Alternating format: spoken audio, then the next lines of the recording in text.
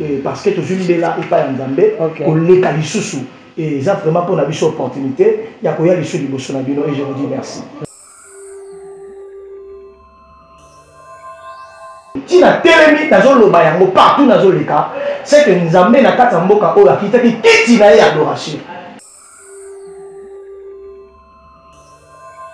bitumba ba génération bato baocomprendre te lelo na kati adoration bato bakoti kisi bato bakoti bapresente tala meme na belateli tala baclipe ezosalama mais lelo nangi nafungola makambo nzambe atie biso topartage na bino ensemble mama nalingi opartage émission oyo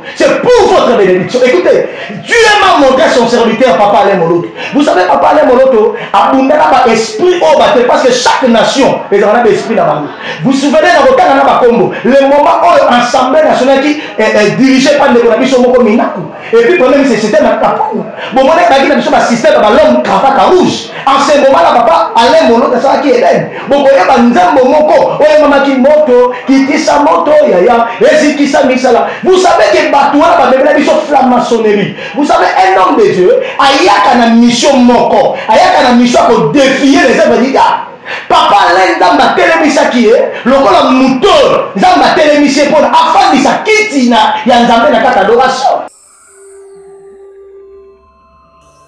babiloko yango esi de suite mais bomonaki koma nzambe aimposaki miziki ya gael na kati ya mboka oyo toboyi miziki arabe te leo meme soki otali na baimage omona frère mike akobita barabe omona moïse mbi c'est pour balingi bamemela biso eloko moko o oh, plus ekovandisa adoration na place na yango te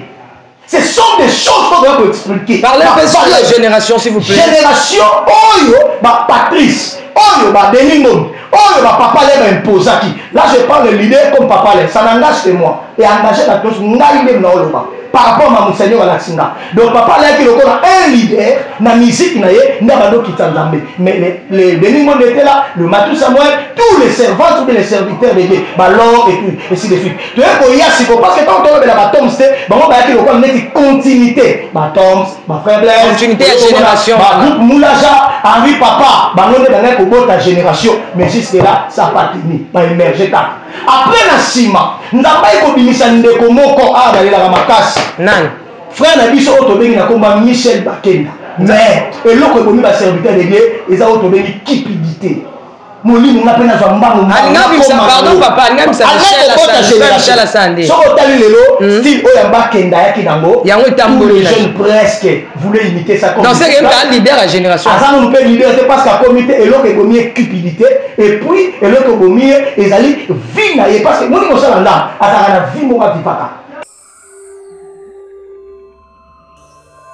génération oyo ya mbuma ya malamu tozolobela jusque là nanu te bote mai nzambe atalisi nga eya na motu moko aotelema na mboka oyo akocontinue mission continuité parce que je vis non non jusque là nzambe moto akoimpose ye ezala biso te oyo nyonso baoyembela nzambe baosala basuccès baza koemerge nzambe apambola bango mais mposa nzambe nabimisi motu te nanu te moto atelemi na generation oyo akozwa trap ya kiti wana mpe ya continuiteakotombola donc lingo lobake s'il vous plaît l'homme de dieu olingo lobake lorsque nani papa alain akei nzambe azwi nanu kiti na ye adoration ameki kobomba yango moke soki azoluka nani oyo akopesa ye relève na génération donc bato nyonso bazosala succès na génération opamba baza koemerge baza ko kosa bato pasi hein positionnement pasi osa bato pasi positionnement ah, yana biloko musu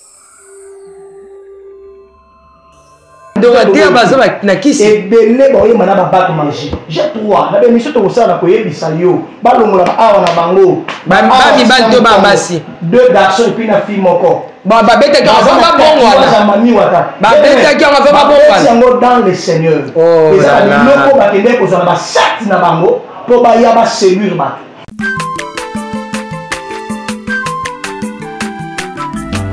aza mwana moto te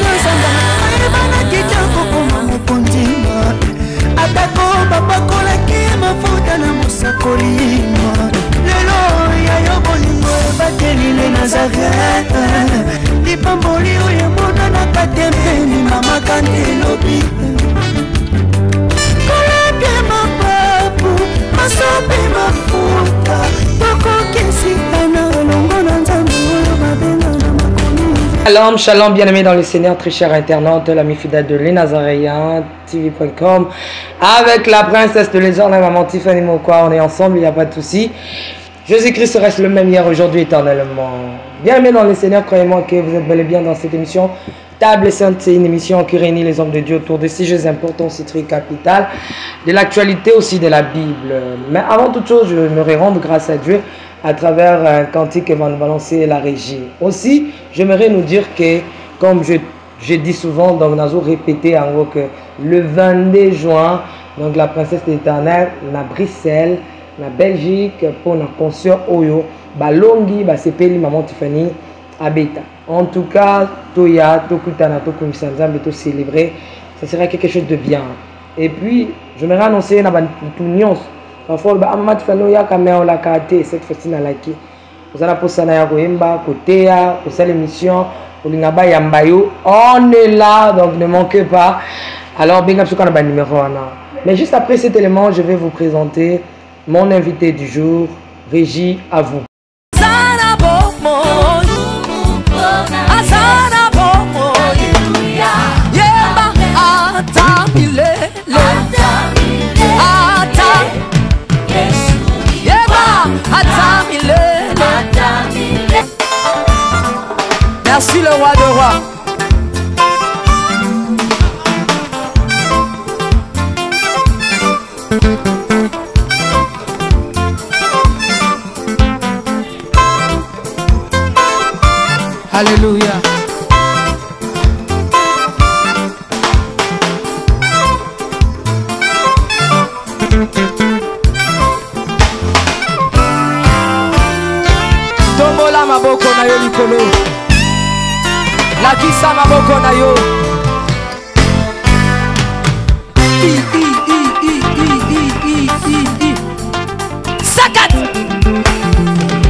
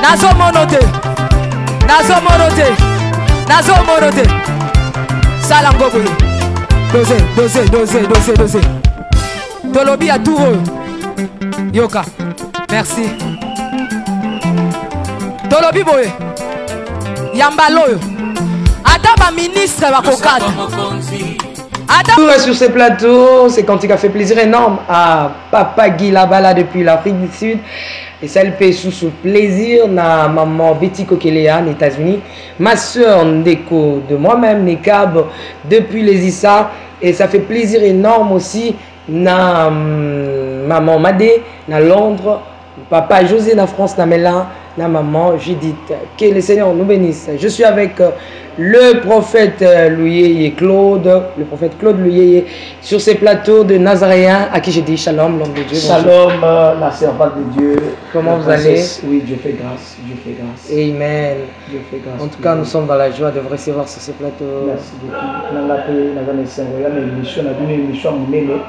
Euh, na profiter na yebisa bandeko nyonso ba partager émission oyo. Okay. Euh, lelo oyo tozomona bato bakotita ba actualité balobela kaka ba musique profane mais or tozobosana ba musique oyo pardon ba émission baoyo basala ndar oyo mpe bazolobela biso makambo etali liloba nzambe Oyo eza ba emission faut to protege yango soki omoni ba ba ba lelo toye to participe na emission parce que tozui mbela epai ya nzambe koleka lisusu eza vraiment mpo na biso opportunite ya koya lisusu liboso na bino et je vous dis merci merci beaucoup l'homme de dieu tosepeli oyamba yo na emission oyo oza moto oyo bato ya bakotala bakolanda lolenge nini okobetisa ngonga Namakamutali adoration alors Aujourd'hui, nous voulons être bénis na boigna révélation que le Seigneur t'a donné par rapport à l'adoration. Au mingi babo sanarake tout va passer mais l'adoration maman kino nalola parce que là-bas ezala kaka louange et adoration que longonga pour que bah, tu vas comprendre qu'est-ce que le seigneur a mettre dans ton cœur par rapport à l'adoration merci beaucoup euh, servante nzambe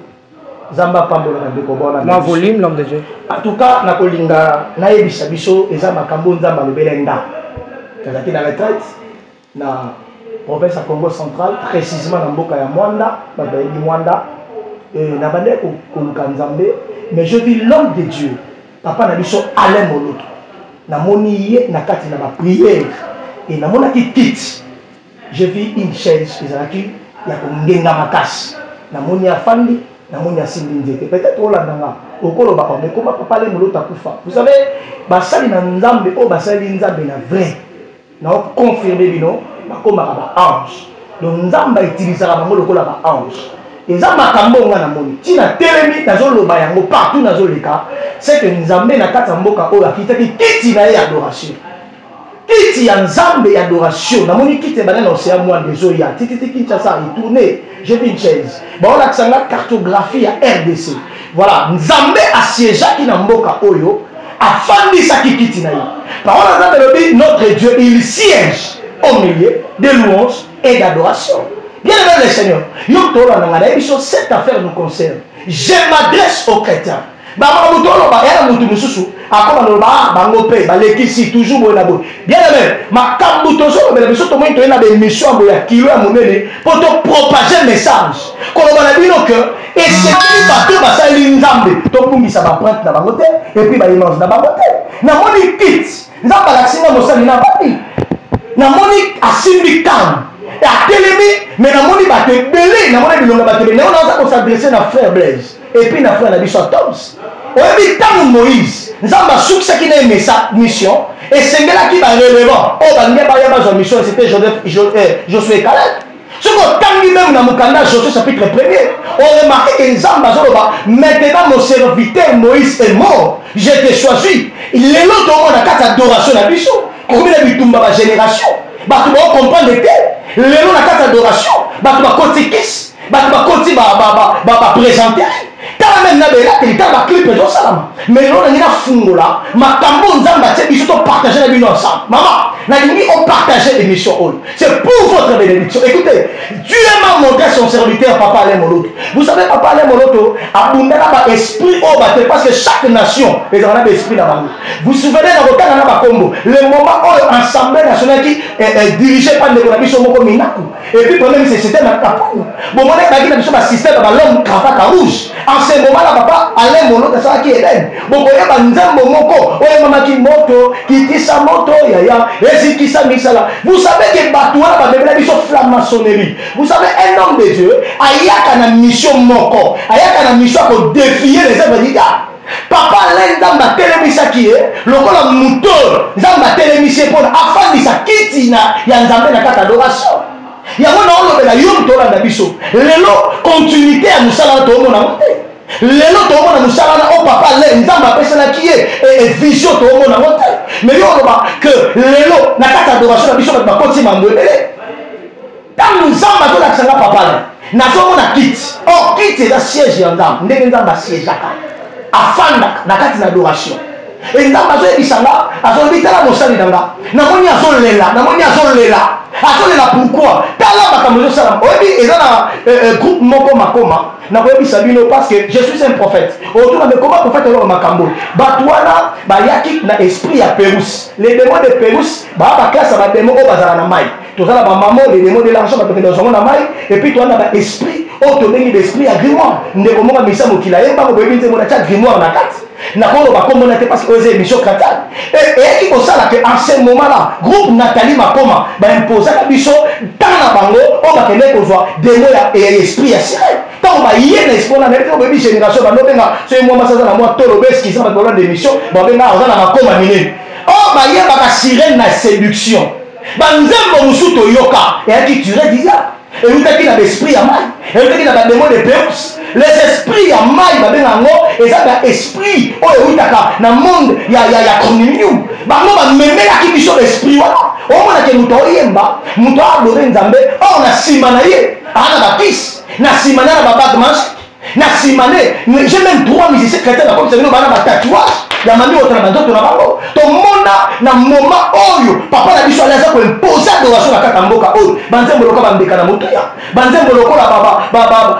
bamosungi na ngai azali kosala tala batirape ya banzembo wana parceke bato banekisaka adoration na kati ya makambo ya nzambe ya trois choses esimbi eglise eloko ya liboso c'est la parole Deuteronome 28. Eloko ya mibale, c'est l'adoration, après c'est la prière. Parce que tokoteya te soki Nzambe akiti te. Un adorateur ou bien un chantre, a moto akitisa Nzambe, azoteya me na kati ya koyemba. Mais tala banzembo lelo, omona lelo bakoti na baventure na koyembela Nzambe, tala belateli na bango, omona moto osala Nzambe atie clip, tala manzaka, to critique te, on parle de valeur. Vous savez, tant le groupe adore l'éternel, bah, on dit Cora, on t'a dit là, et là, on peut être bateau, pena, bah, on quitte ça, oh, et aux amours, mais lelo tala ndenge na génération oyo oh,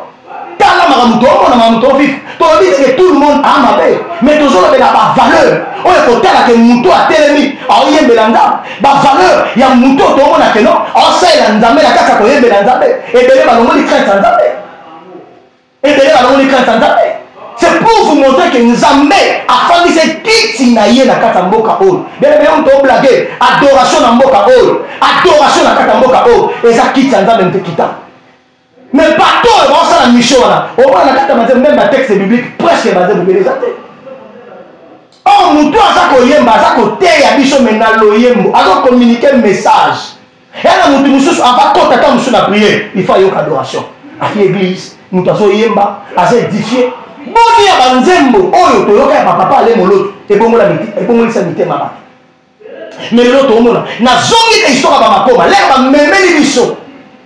eloko bakende kosala na monde ya perus bapesi bango succès ya 10 ans bayaki na mboka oyo botala banzembo na bango botala belateli na bango me lelo oyo pour citer son nom la sœur natalie ou tomona basoko baseli ndoni bazwi lelo aa na kati ya sese kuna tala nde eseli ndoni akomi tala on ne se manque pas avec dieu c'est que un homme il semera il est moissonnera Bien aime le Seigneur, toza ko s'adresser na ba chretiens pona toyebisa bino moment oyo toza eza moment oyo biso bana Nzambe il faut bato oyo baosalela Nzambe na nzela koyemba bamemela biso biloko elongobani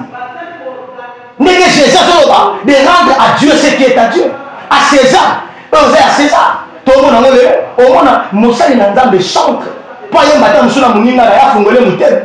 Akotisa ma ba mbongo na kati. Aoka que non nga fana se depend kopesa nga mbongo montant etal. Bien aime bolingo ya Nzambe elongwe. Tongo moko na makambo ebele eko kosalama. C'est pour vous montrer des choses que lelo oyo bato bakomi na kipabilite. Kipidite. Molimo ya kolinga mbongo ke mosala.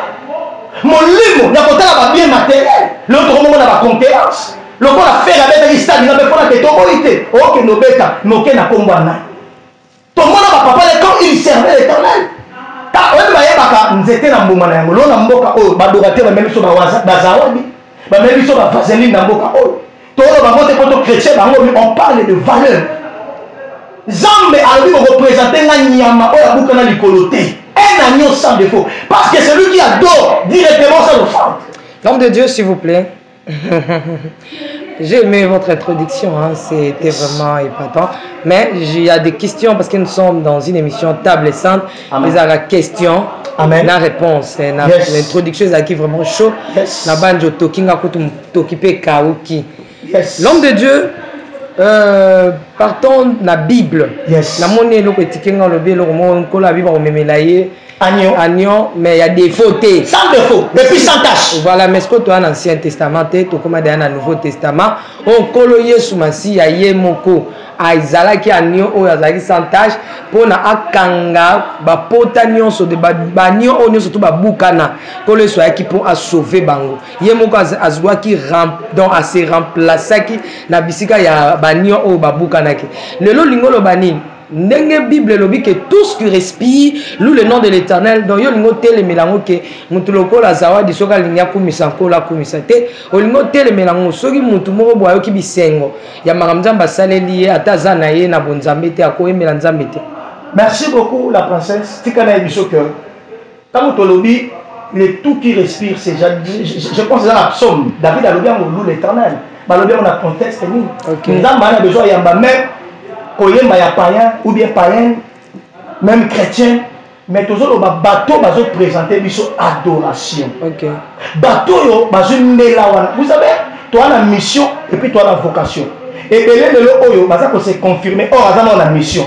mais aa na vocation te Parce que moto aza na vocation ayebi ke ngai nzambe abengela nga ka wana mission na nga pardon vocation na nga eza yango wana po akei na mission na ye ezali makambo ebele te epuis eloko ya liboso oyo ngai naofandela awa bapapa lokola balemo lobi eloko ya liboso bamemelaki biso vocation epuis na mission oyo na miso ya nzambe ezalaki agreable na papa olingi olobake lorsque bato batraitaka papa alain akufana biso na maladi boye akufana biso na eloko boye ye mpe azalaki na banzela boye olingi otalisa biso ke papa alain na ye moto akitisa ye kiti ya adoration awa bien aimé le seigneur ntango osimbi mama papa alain yeba ke mama papa alain ba empoisonne ye 17 fois il a été empoisonné 4 fois oyo elandanaki ezalaki na mambo eleni mais bato oyo bakoya koloba parce que moni lelo eza bato oyo bayeba koprotege bavaleur te Toye awa te po toloba mabe ya oyo totika oyo non tozoloba makambo oyo nzambe alobeli biso bato loka ba papa le babumi na ba esprit ya nation esprit ya nation oyo ba imposelaki biso awa esprit ya nation oyo bayela biso ba totem na bango ye impozaki nzambe wana pesi reference ya nzembo akitisa moto ezikisa misala ya satana na kati ya mboka parce que ce pays bakande kotombola yango mpo ntango président actuel akoti alobi na dedie mboka oyo ayayeya seke naye kokomprendre ke mboka oyo mboka oyo ezalaki na esprit oyo bakende kodedie mboka oyo mais c'est pour vous dire ke bapapa bato bayaki koimpose nzambe na mitema bato na nzela ba nzembo na bango cetadire donc tozoloba ke na kati na adoration esengeli bato oyo bazwi mission ya kokitisa nzambe me na ndenge ya solo merci l'homme de dieu wow. j'ai encore une question à vous poser wow. ba mosali na nzambe oyo oh, nzambe amandate oui. adote apesi oui. bacapacité ntango oui. ayaka je prends l'exemple de jésus oui. lorsque jésus est venu il a travaillé que trois ans oui. na trois ans na yesu akei mais lelo so liloba nzambe ekomati awa parce que jésus a eu le temps de former les gens Mais yes. lorsque na olanda yo ozo lela mingi papa Alain papa Alain papa c'est comme si on se sentir moi vide moko etikali ya makasi voilà maintenant on se pose la question si réellement le Seigneur avait mandaté papa Alain Moloto atindaki ye na génération na ye mpo na former mpo na alarguer ba combattants ba kokoya na sima na ye mais où sont ses élus parce que tokoyeba misala papa Alain après départ na ye na batu oyo ya formaki Où sont ces gens soki yo lelo ozolela papa Alain Moloki? Une très bonne question. Que Dieu vous bénisse la princesse de l'éternel. Tika na yebisa yo. Oyebi Nzambe même na kata Bible asaki ba génération. Okay. Un moment Israël babandaki kotambola Nzambe mo bandaki kozala lokola roi. Mais ntango batelemeli Nzambe après kozala na système ye mo Nzambe lokola baroi telemisa bato na ye akomi koya kopondela bango sikoyo baroi. Premier roi en Israël c'était eh, eh, eh, le prophète oyo oh, eyaye mwana Kisi C'était le, le, le c'était Saoul, après c'était David. C'est pour vous dire que na kati na adoration na biso, classe ya ba papa là, toko classe on loba ba Denis Monde, ba Matou et moment, tout bango nyonso wana, ba frère Patrice na kati, génération. Après bango, génération, yango na lobela frère Blaise, na frère na biso Atoms. Bien aimé, bozaki lokola bateau bongo ma succession ya adoration na biso quelque part. mais nzambe ayebisi nga ota oh, gene parce que na nsima na bino génération mosusu ebotami te oh, oh, yaki na mwa mutu moko alingaki kozwa mwa kilo wana frère na biso michel bakel génération mosusu nabotami te nanu te eza na générationyoyoka banzembo te naoyoka banzembo ozoyoka ser enisi te naoyoka baser enisi baoemerge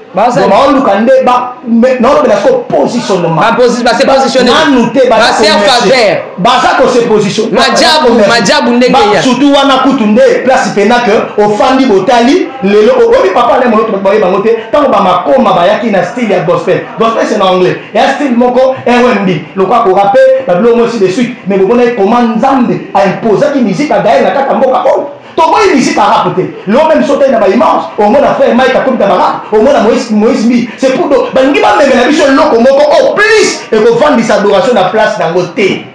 ce sont des choses oyo toya koexplike parle mpe sur la génération s'il vous plaît génération oyo bapatrice oyo badeningomi oyo ba papa le ba imposaki là je prends le leader comme papa le ça n'engage que moi et engage bato nyonso ngai nde muna oloba par rapport ma monseigneur alakisi nga donc papa alaki lokola un leader na musique na ye nde abandi okita nzambe mais le denis monde était là le matou samuel tous les servantes ou bien les serviteurs de dieu balor et puis ainsi de suite toye koya siko parce que ntango tolobela batoms te bango bayaki lokola neti continuité batoms ba faiblesse continuité ya génération ba groupe moulaja Henri papa bango nde bangai kobota génération mais jusque là ça pas tenu ba émerger kaka après na nsima nzambe ekobimisa ndeko moko awa ah, balelaka makasi nani frère na biso oyo tobengi na komba michel bakenda mais eloko ebomi baserviteur de dieu eza oyo tobengi cupidité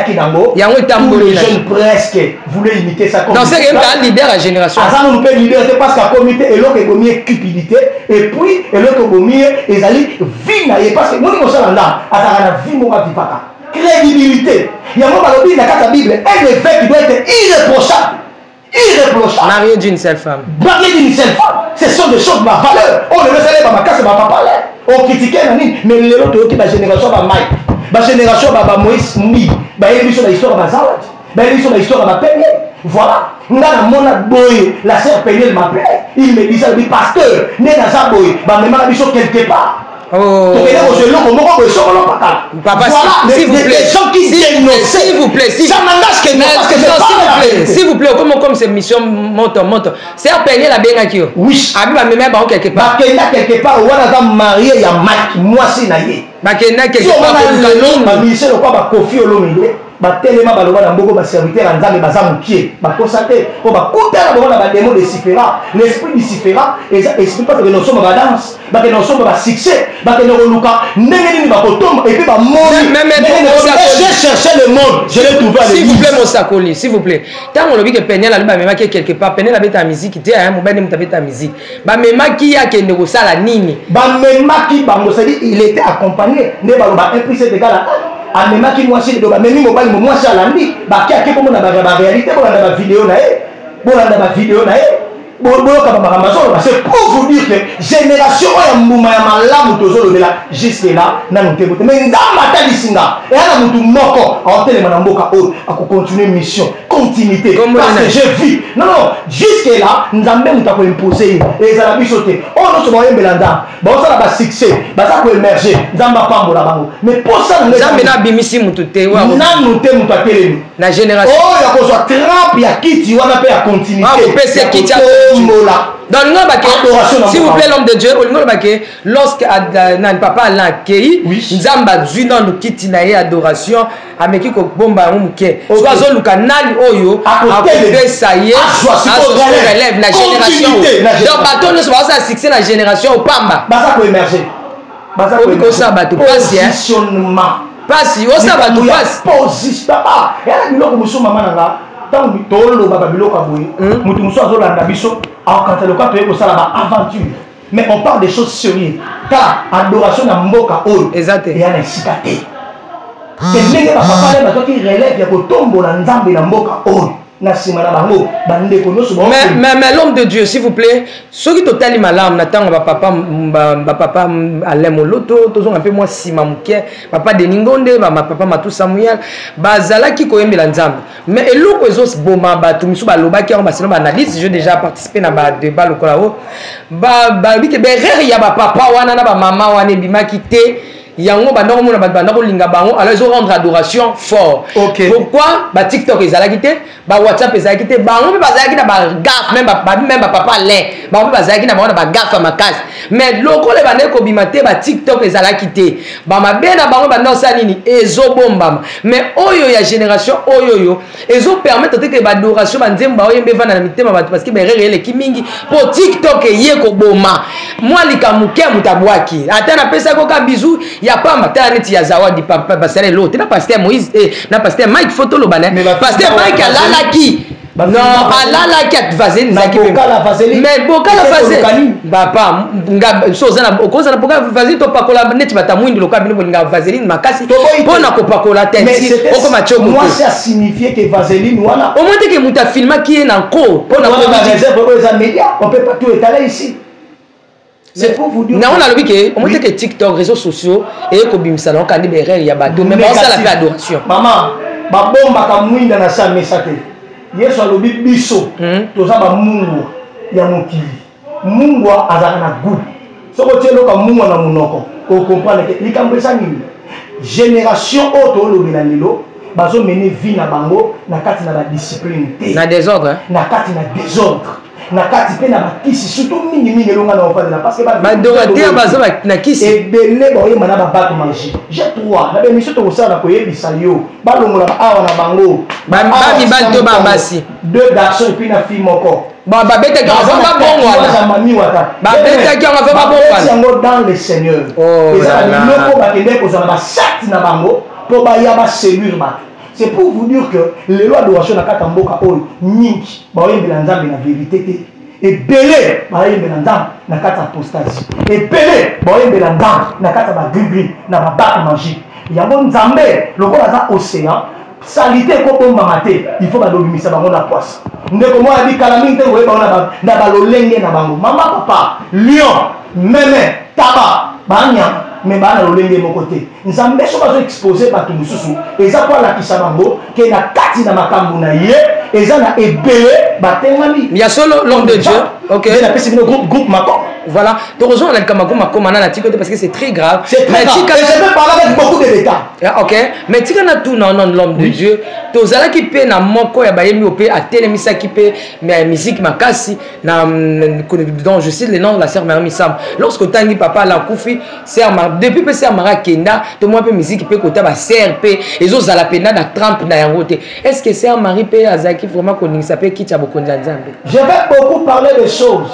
na émission ekoya mais nga loba boye génération ya ba Marie Misamu ya ba Mama Lor génération oyo ya ba groupe moulage nde bayaki école d'adoration bazalaki bato oyo bayaki na ndenge que faki batombola maintenant continuité mais na kati na bango misusu ebele je vais parler beaucoup de choses neti ba mari misamu toyebi ba secret ebele toyoki oh. bato kotemoye makambo na bango ebele toyoki so olandi banzembo nde bayemba gege na kati na oya na detail ya nzembo wana gege azalaki site na angola atanga gege voilà epuis ya un homme oyo akufa na kati ya ndako na ye quelque part oh, aloba oh, yango ayaki sacrifie mpona ka bien mais adoration na kati ya mboka oyo eza na bato na mboka oyo na mboka oyo na adoration bamélange nzambe bamélangeaka ye te yango nalobi ke adoration eza lokola offrande opresente nzambe parce que bible ebi notre dieu il siège au milieu de louange et d'adoration yo jamais okoki komélange biloko oyo eza ya malamu na ya mabe eya na ebele na kati na génération na bango nzambe atikali kotelemisa bango te lokola bazwa relève parce que bavie na bango ezalaki conforme te ya parole ya nzambe yango naye koloba awa je m'adresse au chrétien na debut ya émission na nga nalobaka ke cette affaire nous conseille esengeli biso totelema toye kokitike te toye kosala deux poids deux mesure te mais tolingi bato oyo bazoya na nkombo ya nzambe bato oyo bazomemela biso adoration bapresente biso agnon sans défaut et puis sans tâche parlons un peu de makoma Euh, olobeli omo eza très grave hein? bato oyo bakumbaki bayaki mpe bamemaki génération na bango mm. a cause ya bitumba oyo bobundisa bango na génération na bango bana wana bana wana mm. bana bokitisa bango parce que kongola alinga mm. kokitisa kaka bilo leo to retrouve ser euh, nathalie makoma mais eza mpo na bachrétien mais eza mpo na bachrétien non oyebi ata ntango israel bacomprenaki ye nde moto akokoze mabe nzambe alivraki ye eya na bato mosusu ata toprie mpo na bango makambo na bango etalisi biso te ekomi otala souverainité ya nzambe naye koloba mabe kaka mpo na ye te me naye koloba te nzambe abimisi misala na bango oyebi bato wana bamema toute une général napesi oyo exemple na mboma na bando kobenga so mwana mwasi e mama aa na tolo na ye minene oza na makoma c'était un esprit de peus le demon de séduction soki azoyemba ah yesu aza moko yeyeye eh, eh. vous vous sentez que il communique un message venant de l'éternel or euti na esprit ya pelus basimba 10 ans basimbaki 10 ans de succès malheureusement dieu les a confondu 10 ans ope ekomaki te voilà donc oyo euti na nzambe yango mpe lobi c'est la bénédiction de l'éternel qui enrichit qui ne se fait suivre d'aucun chacun Voilà. Merci beaucoup l'homme de Dieu vraiment euh, euh, euh pointer likambo ya ya koloba ke papa la bundisa ki même euh, euh, misala ya molili ya mboka na biso. Les esprits des nations. Les esprits des nations. Est-ce que rôle ya adorateur ezali ya kobundisa besprit ou bien ya kotombola tro na nzambe tro mitango etombwami quand dieu règne ya na nzambe mosusu ta korenye yango moni Nzambe aloba na Moïse na Deuteronome, alobi l'Éternel le ciel conduira son peuple. Il y aura aucun soutien des dieux étrangers. Oui, mosala Nzambe na nzela ya adoration to na nzela message oyo Nzambe apesi euti epai na Nzambe eza pure et puis eza sanctifie ekotelemela yango moni bato oyo tobenga ba l'homme en cravate rouge pour ne pas totanga so bakombo na bango bakokaki kosupporte temps wana te temps wana mpo na bango ezalaki lokola déluge Cest à dire tango aoyemba moto ebebisa misala ya satana bato baoyeba eyaki moment oyo Kinshasa ezalaki envahie na ba fulu or fulu eyaki mpo na ko envoute bato na ba solo bozo respire ba solo wana bokomi envoute ba makambo ebele ba maladi kilikili bato botonda na ba hopital bato bokokufa tango makambo wana ezosalama bango pouvoir na bango ezomata parce que le diable aime le sang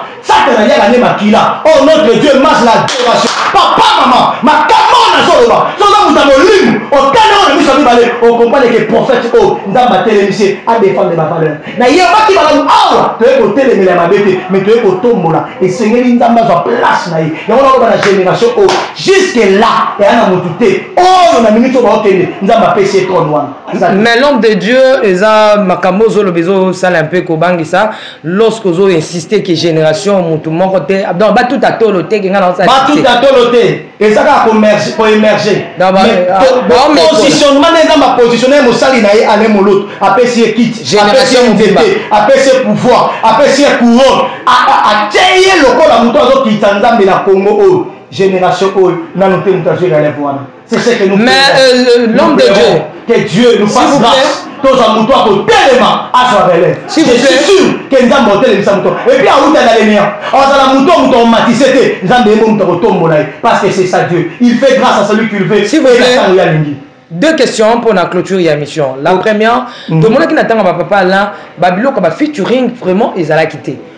okomona kaka azoyemba kaka ye na groupe na ye ye na groupe na ye featuring ezali te osanti ke mwa bolingo ezozala te kati ya bakristu papa nazomata ye moko akonte kaka na groupe na ye na bato na ye ole ya kozwa mpe mwa bato ya babala mosusu koforme bango génération wana balingaka featuring te mais lelo tozomona bafeaturing ekomosalema bato bakomi kokanga mwa kaka ke so otali neti omwa papa mai ser sandra ser nani ser basala mwa ekiri na bango soki mpo oye kotomwa se ya nani oyo abimi na se ya nani oyo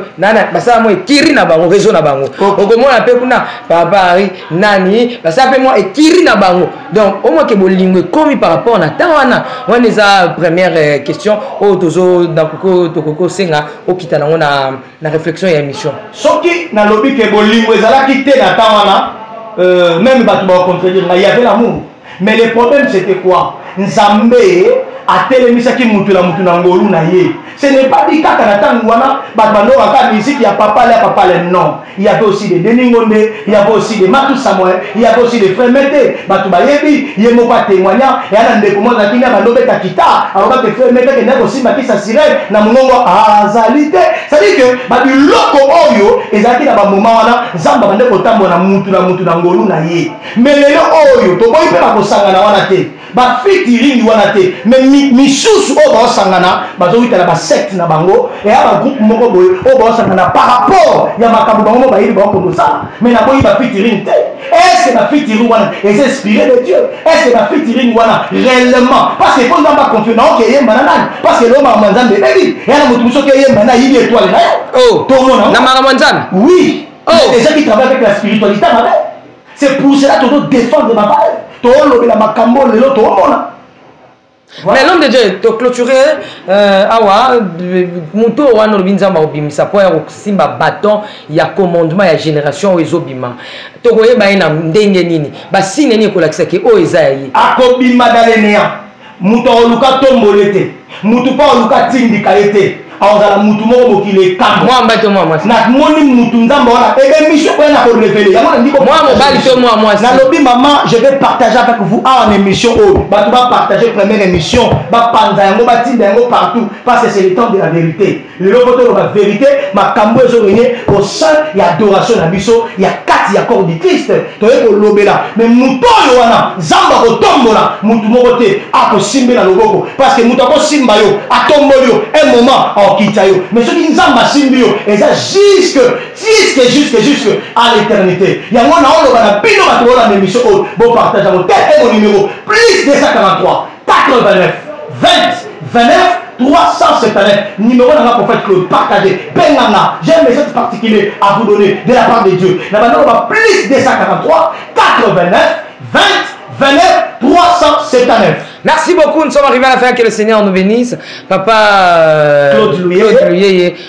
topambolami makasi moi aussi je vous remercie beaucoup voilà Maman. donc euh, na émission ekoya tokozala susu na posa ya koyeba beaucoup plus sur l'adoration donc émission oyo ozobenga bamusicien mpe bakota balanda ko malgre ozochoke bango makambo ezolobama awa c'est pour que lelo oyo tobungisa image adoration na biso te toana nzambe nzambe akita toni na mboka oyo toza contre bino te bandeko na biso mais toparle baverité oyo so bocomprendre nzambe atelemisaka prophète na prophète na message na ye merci restez branché abonnez-vous massivement et puis partagez l'émission ofina mpe nini ya notification croche ya notification mpo ozwa baémission oyo mosusu ekoya ya prophète luyeye claude quant à moi je vous aime beaucoup merci apatiki ete derrière la caméra